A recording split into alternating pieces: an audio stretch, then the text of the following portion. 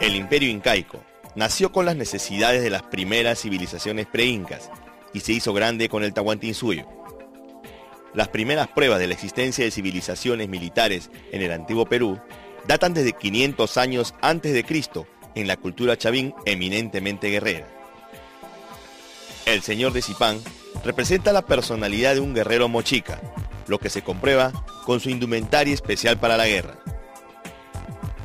El ejército incaico se creó con las características de integrar a los pueblos del más grande imperio de América. El Inca, en persona, era el comandante en jefe. Los primeros ejércitos se organizaron en el Cusco, pero fue Pachacute, el gran capitán de los ejércitos incas, quien organizó sus fuerzas para extender sus dominios.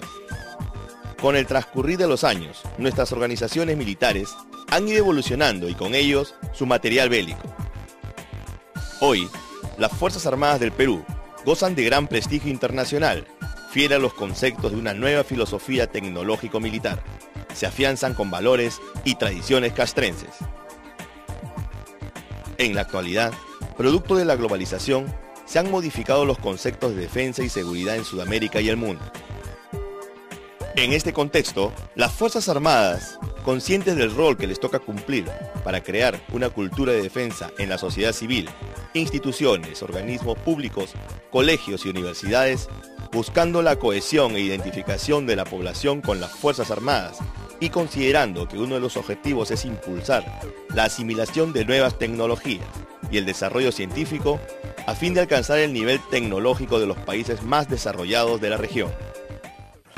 Se inserta en esta oportunidad en el circuito mundial de ferias y exhibiciones y presenta ante ustedes el segundo Salón Internacional de Tecnología para la Defensa, CITEF Perú 2009, a desarrollarse en el cuartel general del ejército, brindándoles soluciones de marketing a través de sistemas de exhibición de alta tecnología, productos, servicios, conocimientos, alianzas estratégicas referidas al tema de defensa.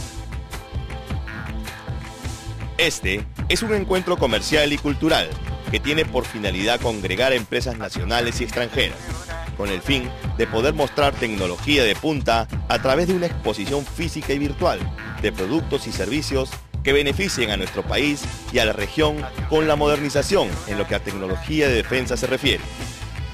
A su vez, como exposición tecnológica, promueve alternativas de negocio entre empresas nacionales e internacionales y su encuentro con potenciales clientes no solo del Perú, sino también de nuestro continente. En esta segunda edición, CISDEF incluye un tema muy importante, la prevención de desastres naturales, tema de gran relevancia en nuestro medio, ya que nuestra ubicación geográfica nos expone al acontecimiento de fenómenos naturales. El aporte de CIDEF como Feria Internacional de Defensa radica en una contribución especial a un cambio de cultura de defensa,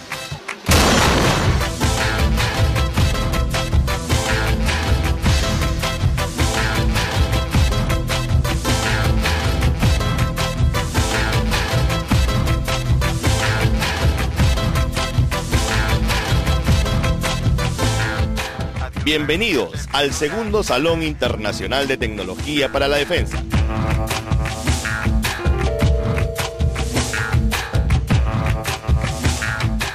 Nuestro compromiso, el Perú.